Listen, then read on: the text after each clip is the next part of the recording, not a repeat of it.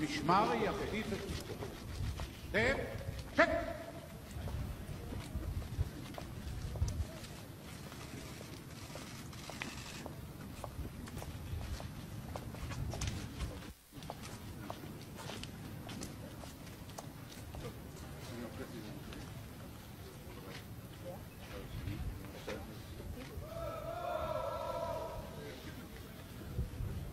המשמר ידגל את נשקו.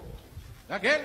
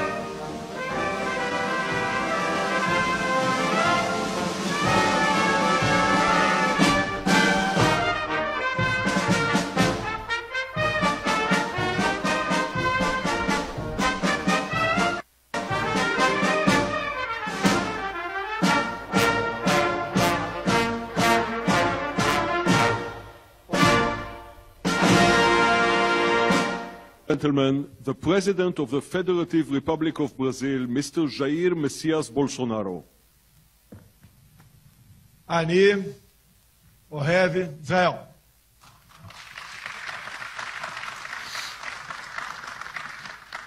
Prezado amigo, prezado irmão, Benjamin Netanyahu. Há dois anos estive em Israel. Visitei o Rio Jordão.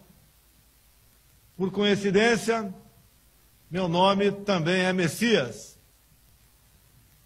Senti-me emocionado naquele momento. Aceitei o chamamento de um pastor da nossa comitiva e desci as águas do Rio Jordão. Uma emoção, um compromisso, uma fé verdadeira que me acompanhará pelo resto da minha vida. Sempre admirei o povo de Israel. Depois dessa passagem, num período de pré-campanha e campanha, citava sempre qual o ensinamento que eu teria levado Israel para o Brasil. Eu falava muitas vezes. Nós sabemos que Israel não, não é tão rico quanto o Brasil, recursos naturais, entre outras coisas. Mas dizia: olha o que eles não têm e veja o que eles são. E daí eu falava para os meus irmãos brasileiros: olha o que nós temos e veja o que não somos. Como poderemos ser iguais a eles? Temos que ter a mesma fé que eles têm. E com esse sentimento, e usando também uma passagem bíblica, João 8,32, que diz: E conhecereis a verdade, a verdade vos libertará. Conseguimos vencer desafios no Brasil. dois milagres aconteceram comigo. Um é estar vivo. Fui muito bem atendido num segundo momento no Hospital Albert Einstein, em São Paulo. Pelas mãos daqueles profissionais de saúde, bem como anteriormente pelos profissionais de saúde da Santa Casa de Juiz de Fora. E com toda certeza, novamente, pelas mãos de Deus, consegui sobreviver e também ser eleito presidente da República num clima completamente hostil à minha pessoa. Mas eu tinha uma coisa que os outros não tinham: eu tinha o povo ao meu lado. Prezado irmão Netanyahu, é uma honra voltar a Israel. Realizo essa visita antes mesmo de completar meus 100 dias de mandato. Meu governo está firmemente decidido em fortalecer a parceria entre Brasil e Israel. A amizade entre nossos povos é histórica. Tivemos um pequeno momento de afastamento. Mas Deus sabe o que faz. Voltamos. Brasileiros e israelenses compartilham valores, tradições culturais e o apreço à liberdade e à democracia. Juntos, nossas nações podem alcançar grandes feitos. Temos que explorar esse potencial. É isso que pretendemos fazer nessa visita. Antes de mais nada, quero aproveitar para agradecer a participação do primeiro-ministro Netanyahu por ocasião da minha cerimônia de posse.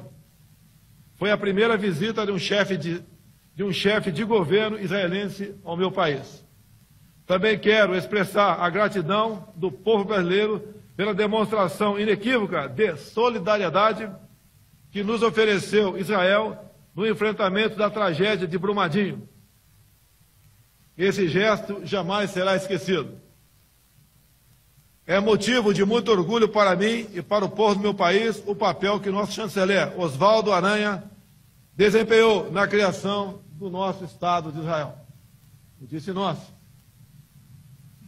Felizmente, retornamos o tratamento equilibrado às questões do Oriente Médio o nosso ministro da Ciência e Tecnologia, o único astronauta do Hemisfério Sul aqui presente, Marcos Pontes, voltou de sua visita a Israel entusiasmado com as possibilidades de acordos e parcerias.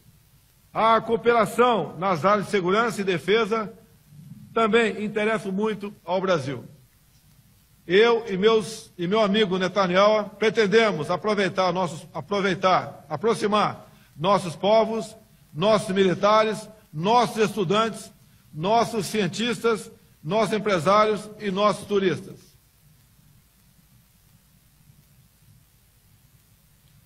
Obrigado pela carosa recepção. Estou certo de que teremos dias muito produtivos e agradáveis. Aná, Hermes, Israel. Muito obrigado.